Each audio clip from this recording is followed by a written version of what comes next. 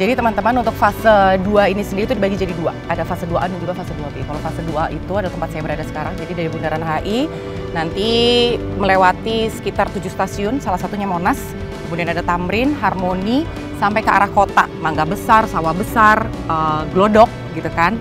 Nah itu panjang lintasannya sepanjang 6 km bawah tanah.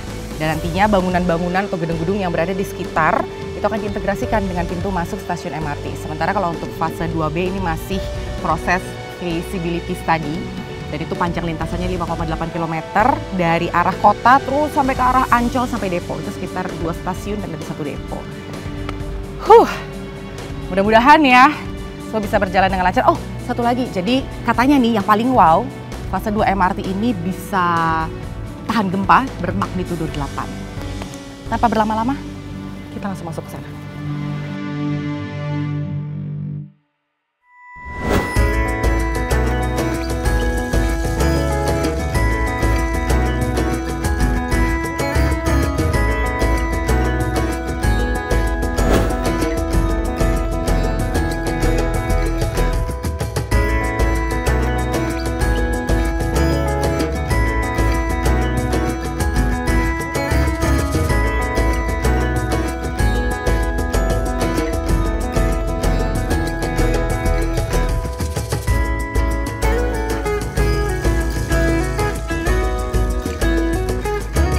Ya teman-teman, jadi ini proses konstruksi pembangunan MRT fase kedua yang tentunya kalau ke sini itu memang kita nggak bisa sembarangan. Proses perizinan juga sudah uh, dilakukan sebenarnya dari seminggu sebelum kami semua satu tim mau ke tempat ini. Dan ya ini ada safety outfit yang harus dipergunakan helmet, terus ada rompinya dan juga ada sepatu boot. Termasuk juga untuk jalan di area ini ada jalur-jalur yang bisa dan nggak bisa dilewati.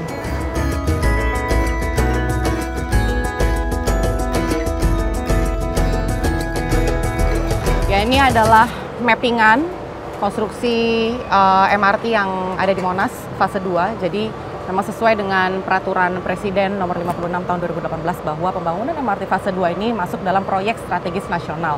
Yang artinya adalah pembangunan infrastrukturnya, targetnya, termasuk juga anggarannya ini menjadi fokus pemerintah dan panjangnya untuk fase 2 ini totalnya itu ada 11,8 km panjang lintasan. Tapi nanti fase 2 ini juga dibagi menjadi dua, ada fase 2A dan juga ada fase 2B.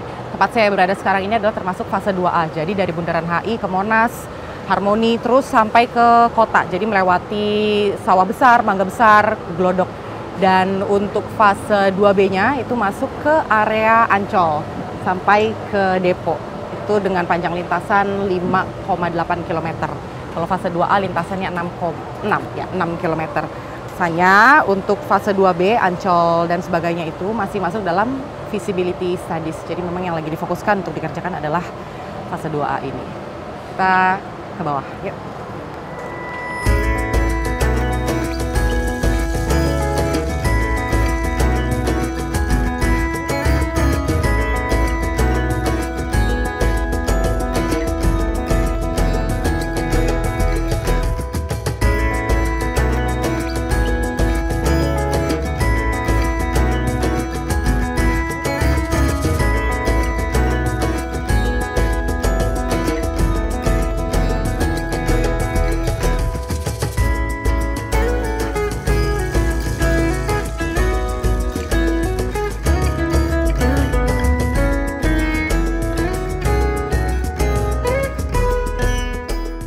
Sempat mengalami hambatan karena COVID dan kendala karena belum adanya kontraktor, akhirnya tahun 2022 pembangunan fase 2 MRT dimulai. Sudah berjalan kurang lebih 60 persen. Saat ini pengeboran terowongan southbound dari stasiun Monas sisi utara menuju stasiun Harmoni telah terpasang 477 ring atau sekitar 715 meter. Tidak hanya itu, Pemasangan tunnel walkway dari Bundaran HI ke Monas pun sudah terlaksana. Jadi sebenarnya bisa saja tim mencoba jalan kaki ke stasiun Bundaran HI untuk inspeksi. Tapi ternyata cukup jauh inside storyan.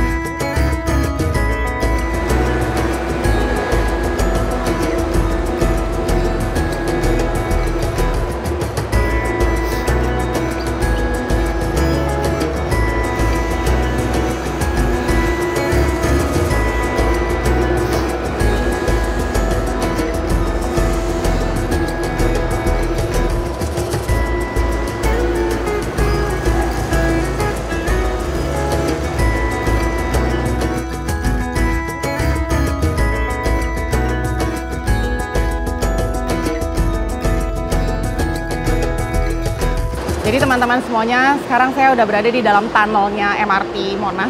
Bisa dilihat ya, ini di sebelah kiri. Ini adalah tempat rel keretanya nanti. Jadi hampir sama dengan fase 1 yang sudah beroperasi bahwa di MRT Monas nanti tetap keretanya akan ada dua jalur kanan dan kiri.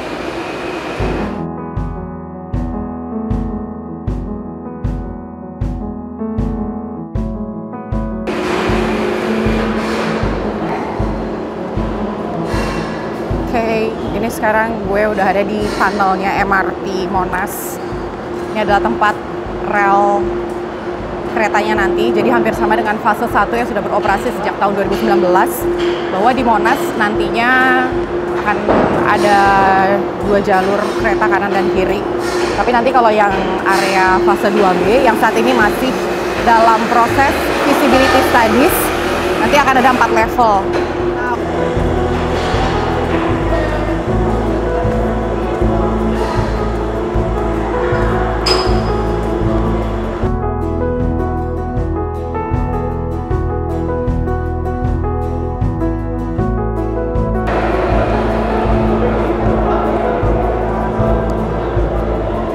Iya teman-teman, jadi untuk MRT yang di Monas ini target operasinya itu kemungkinan masih tahun 2026 atau 2027 mungkin ya. Tapi kalau untuk target sipilnya, tadi saya sudah bertanya-tanya dengan para petugas di sini ditargetkan tahun 2025 itu sudah selesai. Jadi ini dinding-dindingnya dan kemudian juga struktur tulangnya segala macam itu sudah harus selesai tahun 2025. Tinggal nanti bagaimana target RC dan juga target ME-nya itu akan diatur sesuai dengan divisi masing-masing. Kemudian seperti biasa akan ada uji coba MRT um, keretanya untuk mulai beroperasi nantinya. Tapi yang pasti kita akan sama-sama dukung dan kita akan sama-sama melihat bagaimana proses pembangunan dan juga konstruksi dari MRT fase 2 ini bisa terus dilakukan. Nah, saya ini nggak sendiri, teman-teman. Di sini juga ada beberapa orang lain yang ikut melihat bagaimana proses pembangunan fase 2 MRT. Jadi kita coba ngobrol dan tanya-tanya dengan perwakilan yang ada di sini.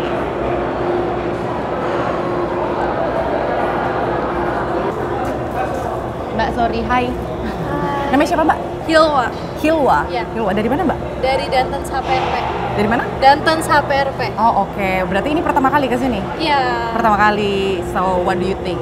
Eh, keren banget sih tempatnya kayak seneng banget karena bisa ngeliat di dalam MRT tuh kayak gimana karena kan biasa kita cuma naik MRT doang Cuma jadi pengguna ya. Iya. Sekarang ikut ngeliat gimana di dalam tunnel. Iya. Sebelum keretanya laut ternyata kayak gini. Tapi biasa pakai MRT? Eh, biasa pakai MRT sih beberapa kali sih actually Oh gitu. Iya. Tinggal di daerah? di Palmerah Tinggal di Palmera. Berarti kalau naik MRT, naik MRT yang mana? Istora atau yang Senayan? Em, Belum. Oh, Belum. belum. Berarti nanti ya setelah Iya. fase 2. Mbak siapa namanya? Alma Balma. Balma sering naik MRT? sering. Sehari? Eh, sehari-hari ya cuman kebetulan aku tinggal di Bintaro jadi Oh. aku biasanya naik dari Fatmawati sih Oh, naik- persis banget di depan kantor kita ada eh, MRT Oh, berarti kalau dari Bintaro ke stasiun MRT yang di... Lebak Bulus Oke, dari sana naik apa?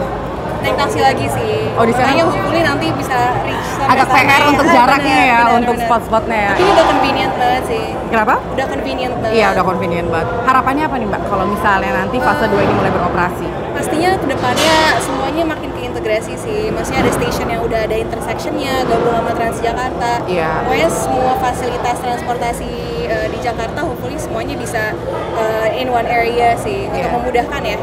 Untuk memudahkan sama supaya cost-nya juga lebih efisien. Kalau Mbak gimana? Harapannya apa dengan MRT fase 2 ini? tentunya ya pasti polusi udara menurun ya karena kan banyak Iya. banget private transportation Iya. dan juga ya sama dengar-dengar juga akan ada ini ya yang eh, kayak di Singapura gitu Ya, hubnya gitu ya. Hubnya, hubnya, iya, iya. ya, gitu sih Jadi- hopefully lebih bagus gitu ke depannya Lebih memudahkan untuk mobilisasi ke mana-mana ya. Oke, thank you. Jadi hampir sama ya kan teman-teman semuanya harapannya supaya polusi udara ini bisa ditangani dengan semaksimal mungkin karena dengan adanya public transportation 50% aja dari warga Jakarta gitu kan naik MRT pastinya akan mengurangi penggunaan mobil pribadi, mengurangi polusi udara. Dan yang tadi semoga saling terintegrasi transportasi yang satu dengan yang lain, accessibility and connectivity. Jadi memperingan kantong ketika ingin pergi dari satu tempat ke tempat yang lain. Ngirit bahasa anak sekarang deh itu bahasa gampangnya.